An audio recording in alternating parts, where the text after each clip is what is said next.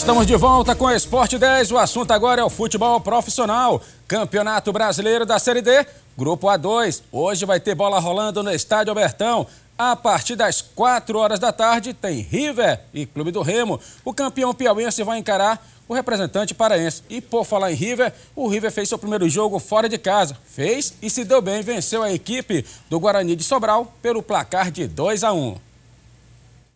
O Campeonato Brasileiro da Série D começou para o futebol piauiense. O ponto de partida foi a cidade de Sobral, que fica a 360 quilômetros da capital piauiense. E foi aqui no estádio do Junco que o campeão piauiense, a equipe do River, começou a sua caminhada rumo ao Campeonato Brasileiro da Série C. Com a bola rolando, o Guarani começou pressionando, mas foi o River quem mandou no jogo no primeiro tempo, dando trabalho ao goleiro Eliardo do Guarani. E logo aos 30 minutos do primeiro tempo, Eduardo recebe um passe açucarado e faz 1 a 0 para o River. E com o segundo tempo de bola rolando, foi o Guarani que impressionou a defesa tricolor em busca do gol de empate, forçando o goleiro César Luz do River a realizar boas defesas.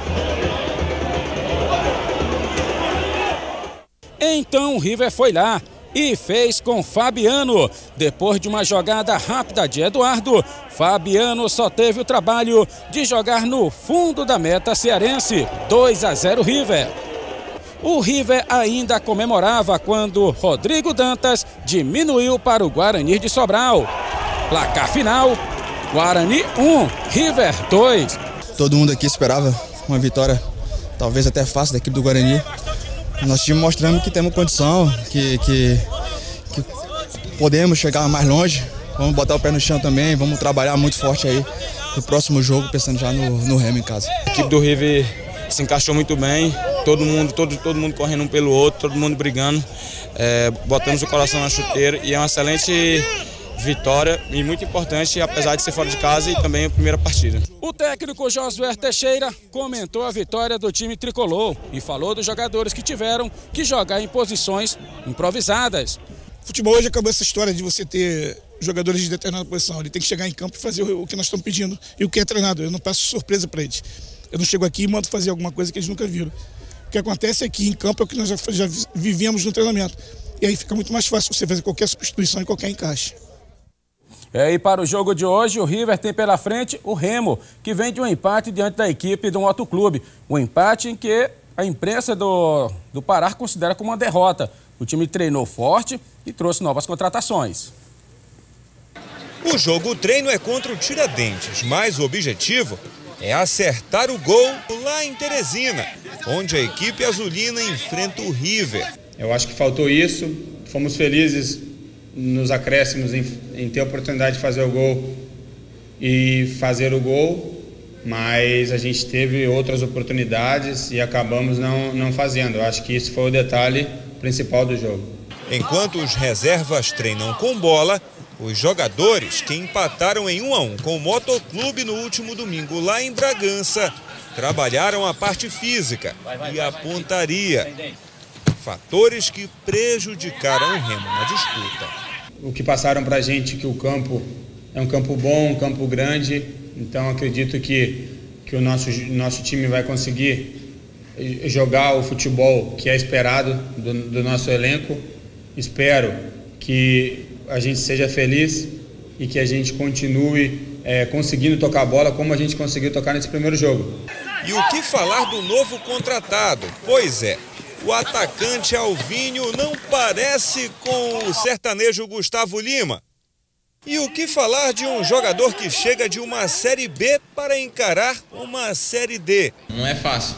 A gente está lá jogando na Série B e imediato poder vir para uma D.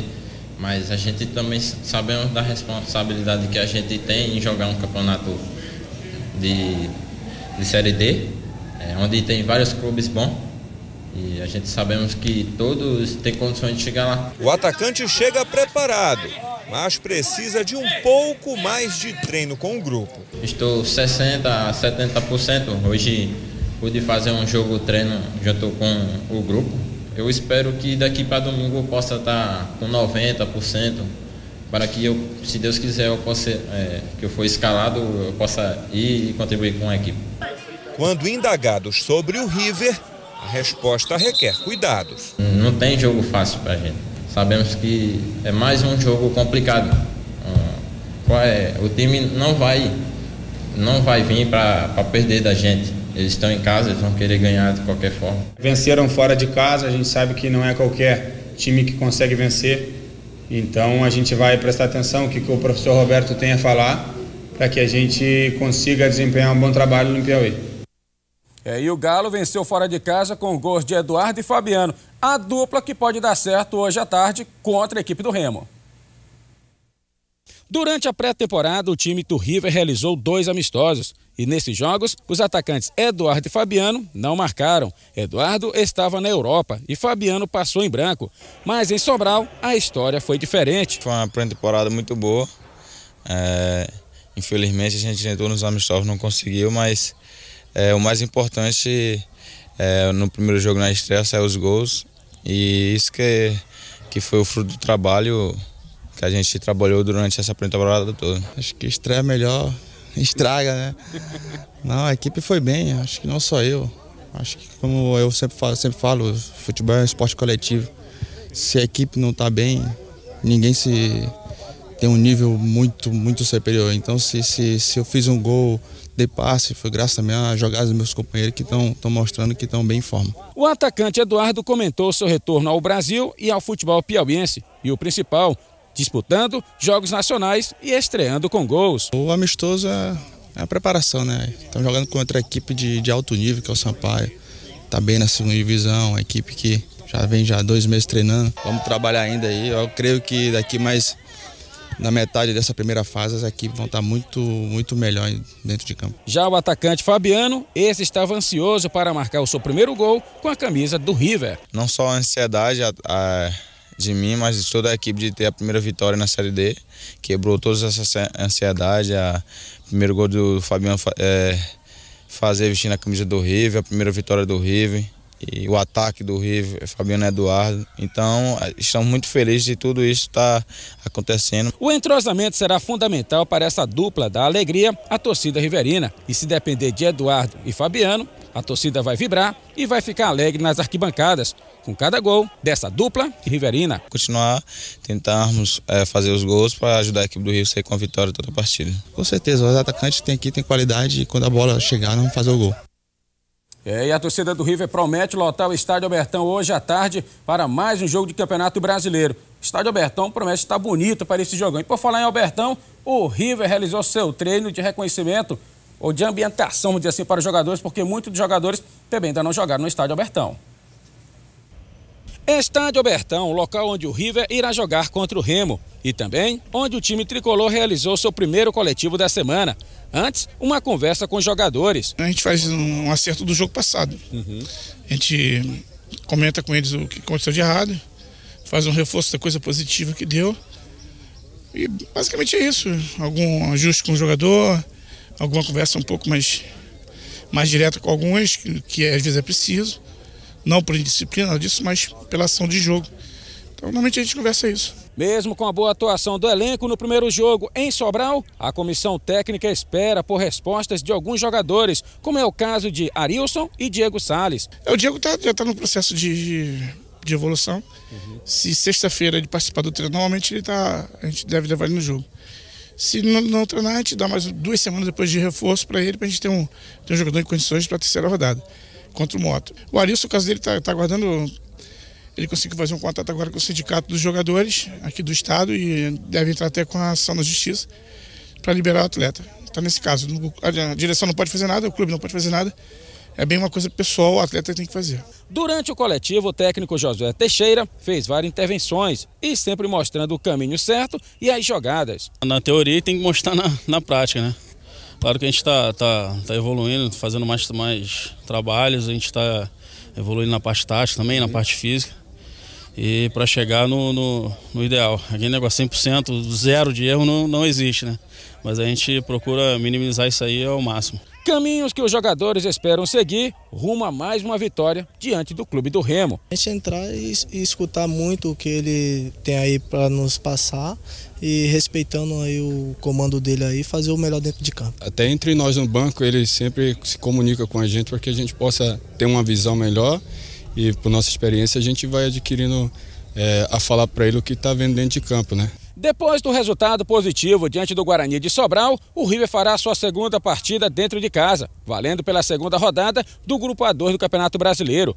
A diretoria está empolgada e irá colocar 25 mil ingressos à disposição do torcedor piauiense. Também espera que o torcedor possa comparecer e ajudar a equipe do River no jogo contra o Remo. Todos os locais que a gente tem andado em Teresina, o jogo está bem falado. Agradecer a imprensa que tem esse papel de importância na divulgação. Eu acho que esse momento agora o River é Piauí, nós temos que unir forças para o erguimento do futebol do Piauí. Então nós esperamos contar com a torcida do River em peso aqui nesse, nesse domingo, que será o camisa 12 do River Atlético Clube contra o Remo. E a torcida do River tem que fazer a festa hoje no Gigante da Redenção. Deixa eu mandar aqui um abraço especial ao Zecão, puro sangue, Eduardo Pereira, que está na comissão técnica do River, está assistindo o programa lá de toda a comissão técnica, do técnico Josué Teixeira, do Márcio Roberto, do Felipe, do Evaldo Carvalho, do Delclés, a galera toda ligada aqui no esporte da TV Antena 10 e um abraço também aos jogadores. Olha, e por falar em Josué Teixeira, ele faz uma análise completa do River nesse primeiro, nesse primeiro jogo, que já aconteceu pelo Brasileirão da Série D. Um pouco acima da expectativa. A gente tinha uma, uma, uma, expectativa de vitória, mas não que a equipe apresentasse o jogo que fez. Nós tivemos um domínio grande do jogo, muito mais posse de bola, muito mais movimentações. Levamos um gol numa situação que a gente tinha entrado pouco e era previsto, já tinha passado isso para eles. Mas acho que foi fundamental você estrear com uma vitória. Principalmente que tem, acho que 4 ou 5 anos que nenhum clube do, do estado estreia com vitória. Então isso aí reforça ainda mais a nossa responsabilidade e tudo aquilo que nós temos que fazer pelo Estado. Tinha te falado que a gente ia estrear na competição com 70% a 80% da, da capacidade. Não adianta a gente estrear com 100% agora. Nós temos que ter 100% na virada de fase, que é da primeira para a segunda, quando começa os mata-mata. Agora a gente tem que fazer uma, uma administração desse, dessa parte física, dessa parte técnica e fazer sempre uma evolução da parte tática. Isso aí está tá me deixando feliz porque já existe uma, uma ideia de trabalho, uma base que eles estão mantendo e que está tendo resultado. Fizemos uma recuperação muito grande no estadual, mas a gente precisava, não que os jogadores que estivessem aqui não, não tinham a, a, capacidade de jogar uma Série D, tinham, mas nós precisávamos fazer uma outra mudança, porque a gente precisava iniciar um novo projeto, uma nova, uma nova é, organização. E aí passava do princípio da gente trazer uns jogadores que já conheciam nossa, nossa linha de trabalho, e tornar uma identificação mais fácil. E foi o que nós fizemos. Hoje nós temos quase que dois jogadores para cada posição com a mesma qualidade, que te permite trocar naturalmente no, no jogo, permite uma, uma, uma cobrança maior entre eles, porque sabe que se, se errar, se perder, se treinar mal, jogar mal, sai do time não volta, e não volta mais, porque a qualidade que está do lado de fora é muito grande. Então a gente fica feliz pela qualidade do grupo que nós estamos era uma, era uma expectativa muito grande em relação ao Fabiano no River. Ele já tinha feito grandes campeões pelo Piauí, realmente é um grande jogador. E a chegada do Eduardo deu, vai dar para ele, eu acho que a, a, a, experiência necessária, a tranquilidade necessária de matar os jogos. A gente tinha acompanhado que o Fabiano, às vezes, ele, ele, tinha, ele é um jogador de muita força, de, de, de velocidade até, mas às vezes ele pecava na finalização. Acho que chegava desequilibrado e, e emocionalmente abalado para fazer o gol. Acho que essa presença do Eduardo, do Esquerdinha, do Marabá vai dar um pouco mais de tranquilidade a ele, como foi até o, o gol passado. E eu acho que é uma evolução muito boa para ele. E o Eduardo, dispensa comentário, um atleta que está há 13 anos jogando em alto nível na Europa, nos, nos possibilita com, com, com um ganho de experiência, com um ganho de qualidade técnica e principalmente pela pessoa que ele é, um cara sensacional. Vem para cá sem vaidade nenhuma, sem exigência nenhuma, que é o mais importante, porque a gente fala que jogador é, é bom ter bons jogadores, mas o mais importante é ter um grupo unido querendo ganhar alguma coisa. Não adianta só um. Todos falavam que era o time a ser batido. Então, não, não, não era o meu pensamento. Eu respeito o Remo pela tradição que ele tem, pela camisa que tem. mas eu acho que o River está muito forte. A gente já tinha ideia que o time estaria forte. A estreia da competição provou isso. É só a gente agora ter o equilíbrio necessário para não deixar a euforia do resultado positivo atrapalhar o jogo. O grupo está consciente da, do papel nosso, então a gente tem que entrar em campo, respeitar o, o, o Remo pela equipe que ele é, pela tradição que eles têm e mais importante é se fazer respeitado dentro do campo. Ganhar a bola, ter a posse de bola, fazer a equipe jogar, marcar, ter a humildade de marcar e com o apoio da torcida que vai ser fundamental, a gente espera ter um êxito nesse jogo. A observação da torcida do River sempre foi muito positiva. Sempre presente, sempre apoiando, até no treinamento eles vinham, compareciam no estadual. Agora na série, na série D, a gente está começando um novo processo de identificação de torcida, de, de aumento de torcida. A gente espera uma torcida de 15 a 20 mil pessoas nesse jogo contra o Remo. A gente conseguindo a vitória contra o Moto, aumenta esse número para 20, 40, 30. Eu acho que essa empolgação da torcida ela é importante, é uma torcida vibrante, uma torcida que não para de apoiar e que faz a gente crescer. Tá aí as palavras do técnico Josué Teixeira. Olha, só lembrando, gente, que a seleção da TV Antena 10 joga dia 9 de agosto em Lagoinha e lá também vai acontecer o Giro do Black. Aníbal Lemos, ah, tem o Anevaldo, né? Anevaldo. Que está nos, uh, nos é. assistindo e também o grande boneco.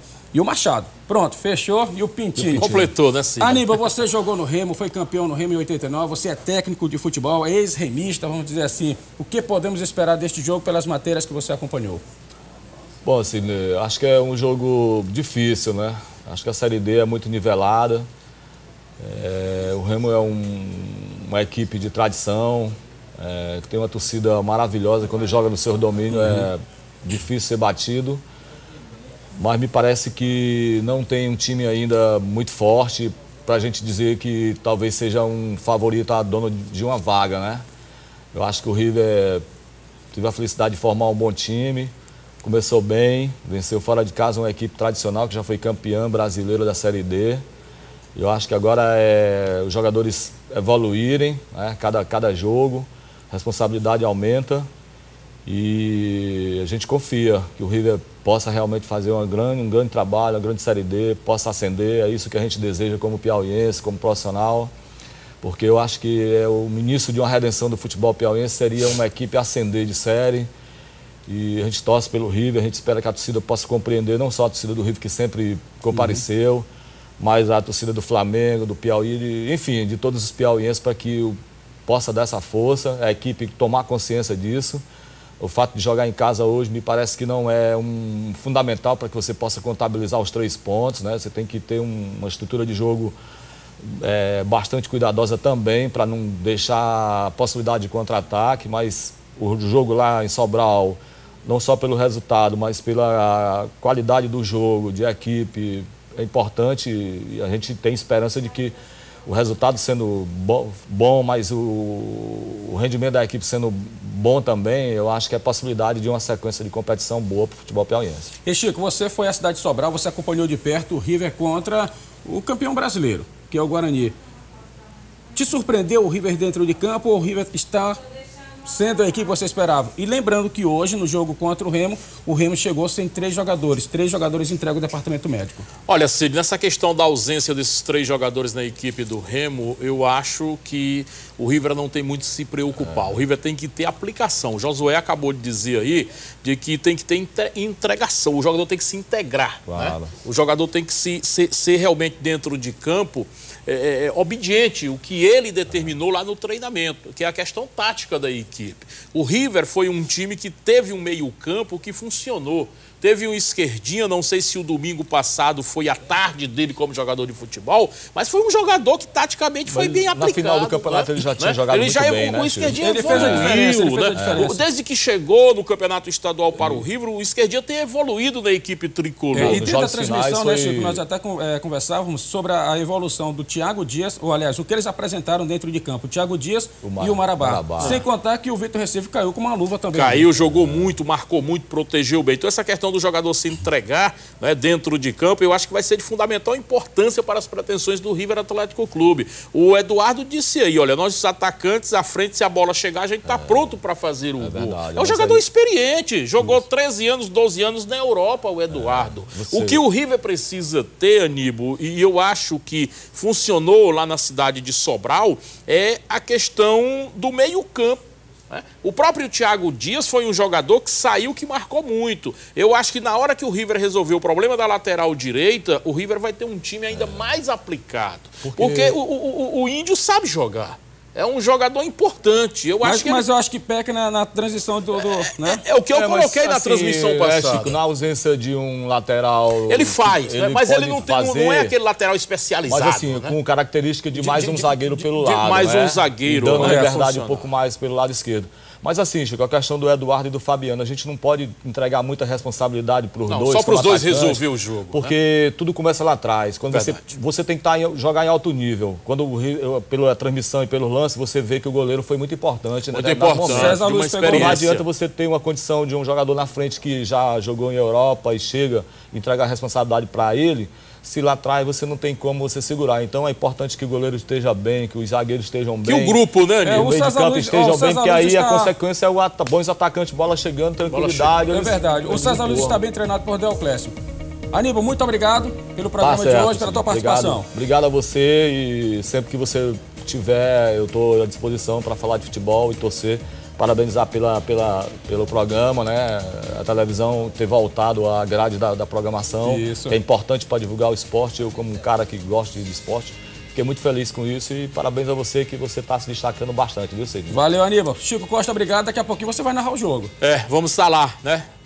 Muito obrigado e chamar o torcedor tricolor. Quem ainda não conseguiu comprar o ingresso, que hoje, chegue cedo no estádio, 20, é, 30 vai, vai, pagar mais caro, né, Cid? A gente espera um bom público hoje e uma vitória do time tricolor contra o Remo. Beleza, então o Esporte 10 de hoje fica por aqui. Você, torcedor, o endereço de hoje à tarde é Estádio Abertão para o clássico River e Clube do Remo. Um abraço e até amanhã no Falando de Esporte.